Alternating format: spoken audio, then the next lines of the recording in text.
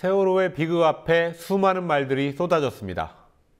기억하기도 싫지만 누가 했는지 절대 잊어서는 안 될 말들이 있었습니다. 그런가 하면 이 땅의 어른이라는 사실이 부끄럽다고 울었던 사람들도 있습니다. 강신의 PD입니다.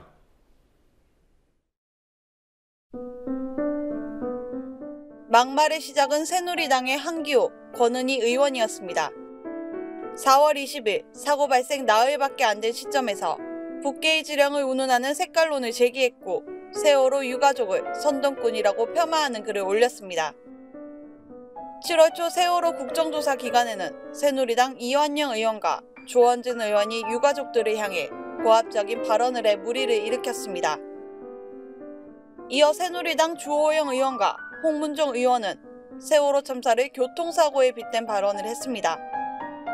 김태흠 의원은 국회에서 농성을 벌이는 유가족들을 노숙자에 비유한 발언을 안홍준 의원은 단식 중인 세월호 유족을 두고 제대로 단식을 하면 벌써 실려가야 한다며 진짜 단식을 하는 건지 의심스럽다는 투의 말을 했습니다.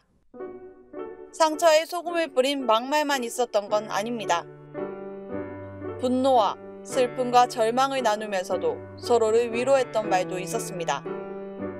문인들은 추모 문집, 눈먼 자들의 국가를 냈습니다. 소설가 박민규는 세월호는 선박이 침몰한 사고이자 국가가 국민을 구조하지 않은 사건이라고 말했습니다. 얼마나 쉬운지 모르겠다.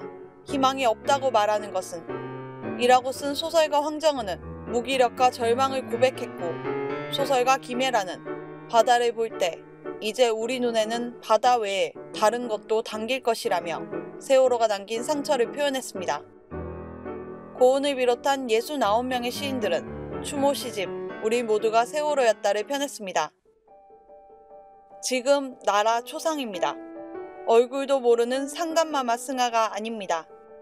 두 눈에 넣어둔 내 새끼들의 꽃 생명이 초록 생명이 어이없이 몰살된 바다 밑창에 모두 머리 박고 있어야 할 국민 상중입니다. 고은 시인의 이름 짓지 못한 시입니다. 욕되고 부끄럽다. 이 참담한 땅의 어른이라는 것이. 김선우 시인은 시, 이 봄에 이름을 찾지 못하고 있다 해서 참담함을 토로했습니다. 국민TV 뉴스 강신혜입니다.